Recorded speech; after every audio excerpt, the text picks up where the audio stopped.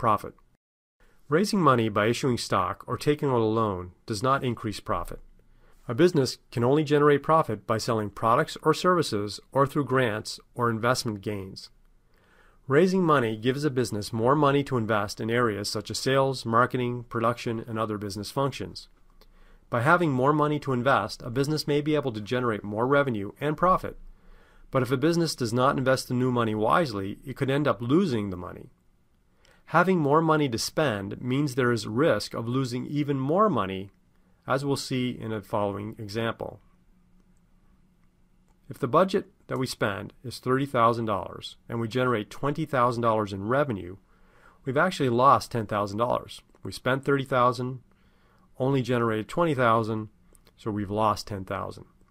If the budget that we spend is $50,000 and our revenue is $20,000, we've lost even more money now We've lost $30,000. We spent more than we generate in revenue.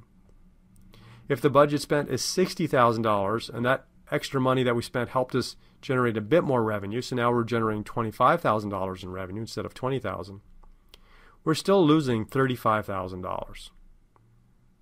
So these examples show that even though we may have more money to spend, that may not necessarily mean that we're going to generate more profit. It may actually put us more at risk if we don't spend the money wisely because we can now end up losing even more money than we would have otherwise.